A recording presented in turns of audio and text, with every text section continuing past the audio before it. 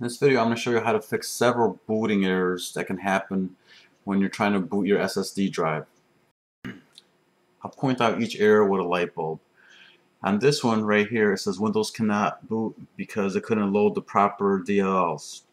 This is a blue screen and this next one right here it says Windows cannot start because the following file is missing or corrupt. I get a blue screen booting up and this happens to me sometimes after I installed my solid state hard drive so I'm kinda used to it. So what I'm gonna do is use this CD I'm gonna show you how to fix it. Let me pop in the CD I'll run a few commands. I'm going to fix the, the boot record. So I think it's fix MBR master boot record and fix boot. Those are the two commands I need to run just so I can boot back into my OS.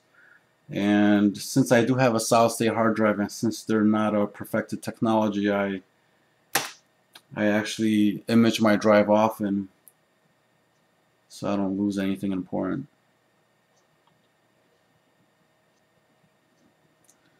Now I am running XP and I did align my partition to be used with the solid state hard drive.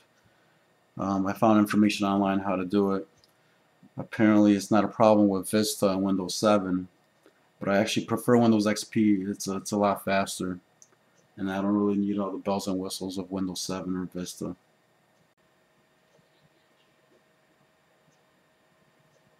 Okay. So what we want to do is enter the repair console. So I press R. I got two hard drives, um, SSD and a normal hard drive. So I have to figure out which hard drive it is that I want to uh, work on.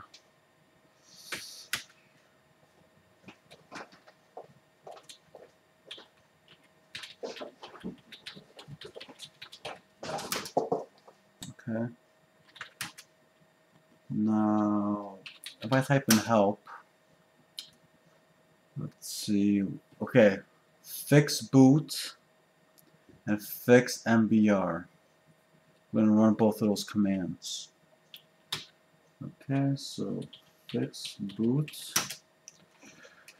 The target partition is drive C. Are you sure you want to write a new boot sector to the drive C? Yes, so I just type in Y. So the new boot sector was successfully written. Now we want to do fix MBR. Okay, may damage your partition tables if you proceed. Blah, blah. Okay. And I do want to proceed. Okay. That's my cat again. So now I type in exit. And actually, what I'm going to do right now is press the reset button on my computer. Okay, once you run those commands, your computer will boot up normally, hopefully.